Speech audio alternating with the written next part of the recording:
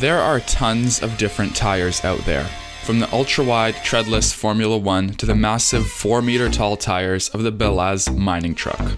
I think it's pretty fair to say that whatever tire you choose will have a big impact on how your vehicle performs. Although in Stormworks we don't have quite as many options to customize, we still have a fair few settings to deal with.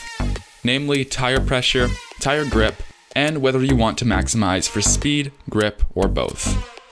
In this video, I tested nearly all the possible combinations and tried to answer the question which tire setup is actually the best for your vehicle.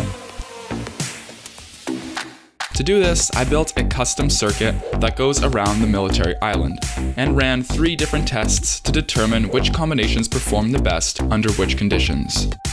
Firstly, there's top speed, probably the most important one of them all. Then, I tested how far up a curved ramp the car would climb. Finally, although this one is less subjective, I tested how well I thought the car handled around the track. First off, before we can even start testing anything, we need to design and build our very own test center. The military island works the best because it has a large, level concrete area, three wide open sections of track, and a circular layout that contains everything we need in a relatively small space. This loop right here seems to be perfect for what we intend to do. It has two open sections for top speed, one treacherous corner, and a thin section that will give any car with less than spectacular handling a hard time. To build our circuit, we need to use the mission editor and assemble a series of barriers.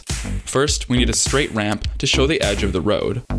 We can give it some flair with a red and white color scheme. We also need an inside and outside corner piece to define corners. It would also help to add a couple concrete sections to make the corners easier to take. Finally, just to add some realism, I'll add some bridges and some supports to hold them up. I have to admit, before starting this project, I wasn't so great at driving, so I spent some time racing around the track and trying to improve my skills. This is the Astral C21, built by 404 Gordon Not Found. With some minor modifications, we'll use it to test how the settings of the tires have an impact on its top speed. With a mass of around 1,200, this can be considered a lightweight vehicle, but its maneuverability and control fins give it an upper hand on the track. For this test, I lined up the car at the starting line. I stopped exactly when the shadow of the bridge started revealing the dashboard. Then Florida until the car reached the finish line at the end of the runway. The top speed was being recorded as the car traveled forward. As for the tire settings, I split each up into six values. 1, 20, 40, 60, 80, and 100. So for every value of tire grip, I tested every value of pressure. The spreadsheet that I set up looks like this. There's only one problem with this though. When either grip or pressure was at 1%, the car was barely able to move.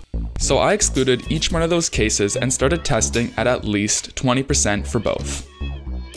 What I found was expected and also quite interesting. It turns out that tire pressure has pretty much no effect on the top speed of the car, so testing the same grip at different pressures reveals basically no difference. I'll talk a little more about tire pressure later, and in which cases it should be maximized or minimized depending on your vehicle. At 20% grip, the Astral was able to accelerate to 143.5 kilometers on the runway. The main thing that stopped it from advancing further was that at a high speed, there wasn't enough grip to pull the car forward faster, and eventually it settled at a velocity of around 144 kilometers an hour. This was on all round tires though, and changing the optimization setting made a huge difference. Since the main con was the grip, switching the tires to prioritize speed only worsened the result. In this case, the Astral was barely able to crack the triple digits, maxing out at 110 kilometers an hour. Once I replaced said tires with high grips, the top speed shot up to 171.5 kilometers an hour, 44% faster than the worst case and 18% faster than the median. As the grip setting increased to 40%, there was a predictable rise in top speed. The record on all rounds was 215 kilometers per hour, almost 100 more than when the wheels had 20% less grip. On high speeds, the top speed came out to 171, a notable 22% decrease. And on high grips, the top speed went up 9% to 236. After that, the top speed stayed the same all the way from 60 to 100% grip. Putting on high speed tires didn't hurt or help. and interestingly enough, putting on all grips resulted in a loss of 3.5%. I suspect that at this point, the car had all the grip it needed to get up to 240 kilometers an hour, and maximizing the tires for it didn't help at all. At that point, it's likely that the problem of speed requires more different solutions, like a different gearbox or a more powerful engine. So after taking this out to the longer track on the mainland, I was able to get the car to go faster. Eventually, both high speed and high grip tires managed to get the Astral to around 257 kilometers an hour. The high speed ones were skidding out while doing it, but the high grip ones were not. This indicates that during my test, the car was not given enough distance to accelerate to its true top speed. At 257 kilometers an hour, the only thing holding the Astral back was its gearbox. It was maxing out the RPS on the 7th gear with nowhere else left to go. All in all, speed and grip optimized tires are both great, just that the former accelerates faster because the tires encounter less resistance upon launch. The high grips don't spin out as easily and take longer to get the car moving. Now it's time to look at the results of the uphill test. For this, I built a curved ramp with equally spaced markers. No pun intended. The premise was that a vehicle would roll up the ramp and stop once its wheels were halfway on it. Then, from a standstill, it would accelerate up the ramp and I would record how far it could reach. However, the same car we used for top speed experiment would not work with this test. Instead, we'll be using the very well designed Bunny Buggy built by Ampoulepin. The main reason for the switch being the clearance of the buggy. With its big tires and relatively short wheelbase, it has no trouble advancing where the Astral would surely fail. So, as you would expect, the tires with the most grip performed the best, and pressure once again did not have any impact on the reached height of the vehicle. It would be better for you to put the pressure to 100% though, because it adds clearance. Anyways, at only 20% grip, the buggy made it around 7 and 3 quarters of the way up the ramp. Not bad, but also severely lacking. On any real missions, it would handle awfully. At 40%, our maximum increased by 18% to 9 and 1 quarter, a pretty big improvement. At 60% grip, we reached 10 on the scale, improving by less than half of last time. At 80%, we only gained half a mark, reaching 10.5 on the total scale. And at 100%, we gained another half point, getting us up to a grand total of 11 on the ramp. Not bad.